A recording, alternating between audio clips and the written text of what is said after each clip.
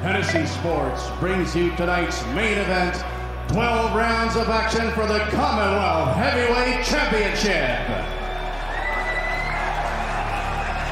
Introducing first, fighting out of the blue corner, wears black trunks, his official weight 16 stone 8, 232 U.S. pounds, with a professional record consisting of 16 victories, 5 coming by way of knockout, and no defeats in 16 bouts. Introducing from Toronto, Ontario, Canada, he is the current undefeated heavyweight champion of Canada, Neven No Surrender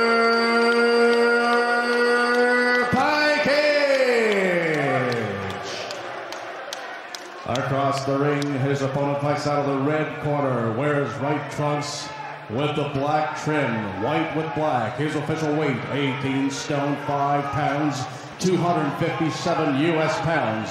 His professional record stands at 16 victories, 11 coming by way of knockout, no defeats in 16 bouts. Introducing from Manchester United Kingdom, the current undefeated British and Commonwealth heavyweight champion, Tyson Fury!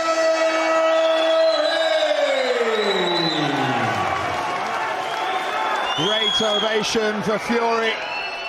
As there is, it seems, wherever he goes. And the question now is whether he can take care of Neven Pajkic Gentlemen, you've had and your keep instructions moving in the forwards. dressing room. You know what I expect of you both. When I tell you to break, break cleanly and take a step back. Watch your heads in close. Touch gloves. Good luck. Touch gloves. Needed the second instruction there to touch gloves. There is bad blood between the two, no question about that. But Dave McAuley, Tyson Fury can't allow that to get in his way.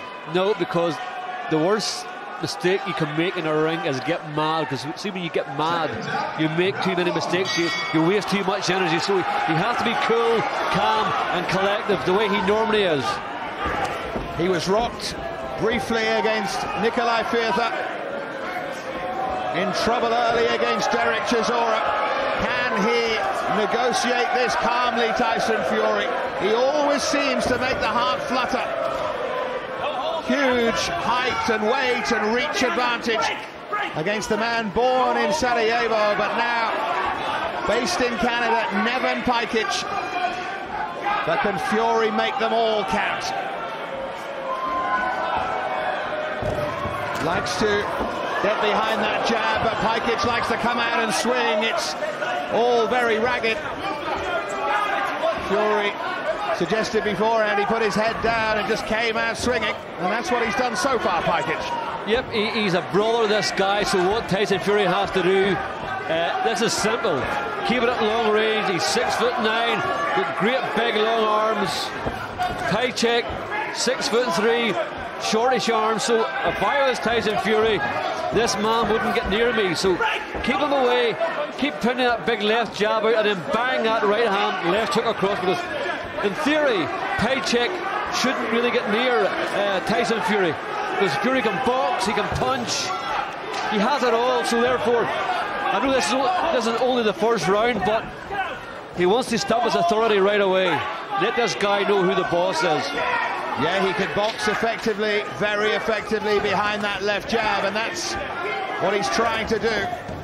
But again, Pajkic comes moving forward, ungainly, untidy, but just flustering Tyson Fury at the moment. Not the most attractive start to the big fight of the night, but that's better from Fury. Good footwork there to move himself to the center of the ring. See, I'm only just guessing here, but I would say that uh, Paychecks, uh, what they, what they want to do is they want to get in, inside. They want to try to make sure that Tyson Fury can't get off, you know, with the big arm, the big rights, the big lefts.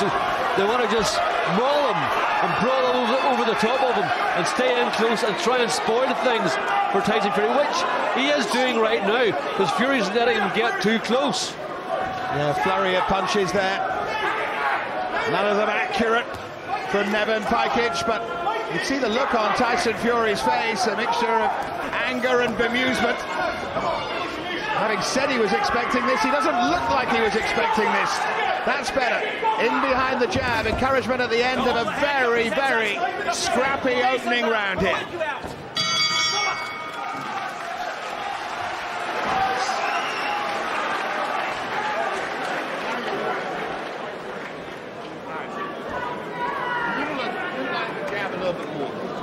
And I haven't seen any feints. I haven't seen any feints. I want to see the feints, and I want you to touch the body, okay? And don't back straight up. Turn, turn, okay? How you feel? Okay. Utilize my jab a little better. Feint it, pop it to the body, pop it to the head, double it, triple it.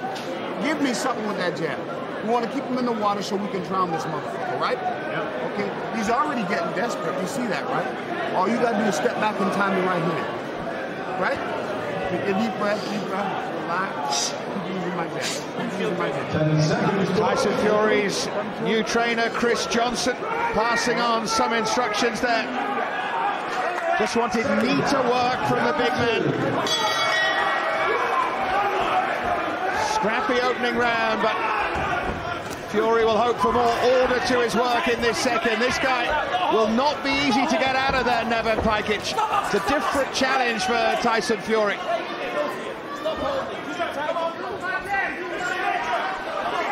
Barely been able to land a clean shot so far, Fury. But we know all about the power he has in those hands. Pajkic with a right hand in response to that left jab from Tyson Fury again. Pajkic looking for the big shot, but Fury catching him as he came in, and the crowd here in Manchester rises. Now they're starting to exchange. Now Fury opening up, and now he play acts again as he loves to do. Pajkic with a swinging right hand there. Wasn't far away that shot. Might be uh, head down and a little blind, but Fury had better be careful here. Yep, when Fury lets him go, they land on target. So he has to throw his punches and twos and threes. The big, the big left jab works, works his way in, and then bang, let the big rights go and the big lefts go. But let them go in twos and threes. That was a dangerous right hand from Pajkic, but Fury took it well. Couple of good left hands there from Fury as well. Little warning from the referee about punching around the back of the head. Pajkic has only knocked out five of his opponents. Fury, by contrast, 11. Fury, the man, certainly with more power. Now that jab. Jab was so sharp against Nikolai Firtha. Looked a real weapon, but it hasn't done so so far tonight. Oh, Fury is down! Fury is down for the first time in his career! Caught by Pajkic, and now it's a real crisis for Tyson Fury. He's okay to continue. But Pajkic senses cause a massive upset in Manchester. Look, what he did was he dropped his, his left hand and overcame an overhand right, and it landed bang on his chin. Fury has to tighten it up. What he has to do is he has to take this fight to Pajkic. He's letting Pajkic dictate the terms here. So Fury wants to come forward, but keep the hands up and let the punches flow. Because if he hits Pajkic with that big right hand, he will knock him out. Is this the night that Tyson Fury's bubble bursts? It's never dull this ride. Big, big round from Neven Pajkic here. Fury regrouping and caught again by a right hand there. Holding on now, Fury, at the end of a dramatic round.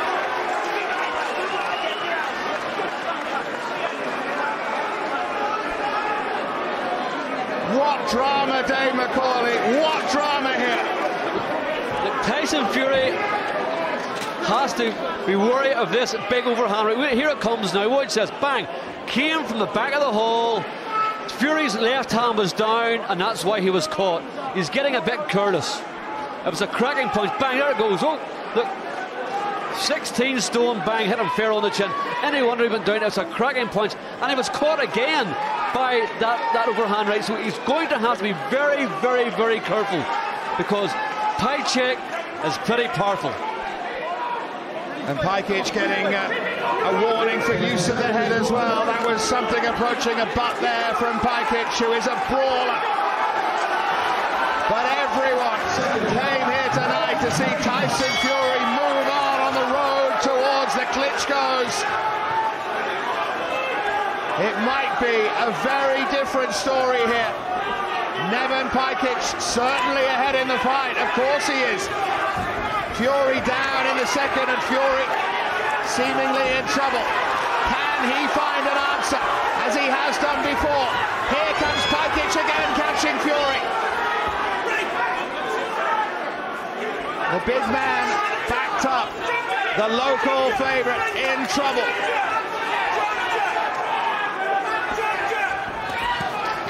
Pajkic with a shot to the body and then a right hook to the head. Has Fury weathered this storm yet? You see, nearly every time Pajkic throws that overhand right, he catches Fury because he's dropping his left hand too low. And he's moving into to, to, Pajcek's uh, left, right right hand. So what Fury has to do is move to his own right to try and avoid Pajcek's overhand right. But he's doing everything right now to sit Pajcek or Pajkic. Better right hand that time from Fury. The first time he appears to have hurt Pajkic. It might not be pretty. But it is on a knife edge, this. Both men are throwing everything at each other. Fury with a right uppercut that rocks Pajkic to his boots. Follows it with a left hand. Then the left jab from Tyson Fury. Pajkic responding with a right hand. Great shot that though from Fury. But he needs to keep up the pressure, Dave. Yeah, he needs to keep going in here and he needs to keep dictating the terms here. When he gets that jab going and then he unleashes that big right hand, he has great success. Right hand again and Pajkic is rocking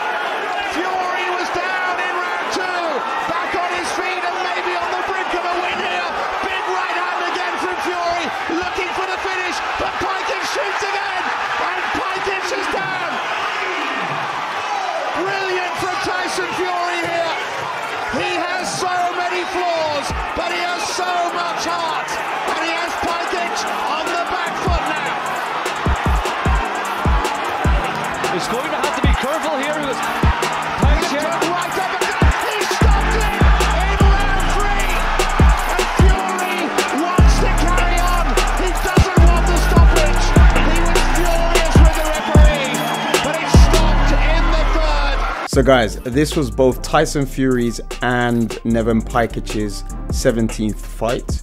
So, they were at the same stage in their careers when going into this fight for the heavyweight Commonwealth title. However, so their physical attributes are where they differ a lot. So, Fury was 6'9, 18 stone, and 5 pounds, while Pajkic was 6'3 16 stone and 5 pounds. Fury was a lot younger, I believe perhaps um, 10 to 11 years younger. Now, guys, over the years, the British fighter Tyson Fury has improved, but in this fight against the Canadian Pajkic, we are staunchly reminded of his humble beginnings. You saw the knockdown, you saw the pressure that um, Pajkic was able to muster. Um, so, in most cases, unless you are Nikolai Valuev, you are going to be the shorter boxer when fighting Tyson Fury. Now, Tyson's height advantage is such a big factor that you must certainly assign some time during training to developing a height negating game plan if you wish to be successful against him. So, for instance, not allowing him to establish his jab by constantly distorting the range. So, keeping your head a moving target through the use of micro movements, cycling through blocking and evasion so that Tyson doesn't really know when he will come into contact with his jab. Also, changing your height so that you force Tyson to change his line of sight from directly forwards to downwards. And this will allow you to target his torso and set up overhand right hand shots. Now, for me, all of these things have to be put into place systematically before you can actually start to think about your attack because Fury can always hit you before you can hit him. Now, if I'm to be honest, I don't think heavyweights such as, say, Anthony Joshua, Joseph Parker, or Deontay Wilder have the skills or tactical playbooks to beat him. Now, if I'm to think about the fantasy matchup between, say, Mike Tyson and Tyson Fury, I think I am Mike Tyson's style is almost tailor made to take on someone like Fury. He changes his height a lot, moves his head, and creates angles at an aggressive pace. Also, Fury's next bout will be against Alexander Usyk. This is another opponent that I believe has the tenacity and overall ring IQ to usurp the Gypsy King. Fury definitely knows how to box, but I think Alexander Usyk has superior skills, or at least makes good use of them in abundance when he fights. So I suspect we may be looking at a Usyk win come May 18th. As always, let me know what you guys think down below in the comments. Anyway guys, that's all for now. I really hope you've enjoyed watching the video. Please remember to smash the like button if you have enjoyed watching this particular update. Remember to leave a comment within the comment section if you want to add anything about Tyson Fury. So until my next one, peace out.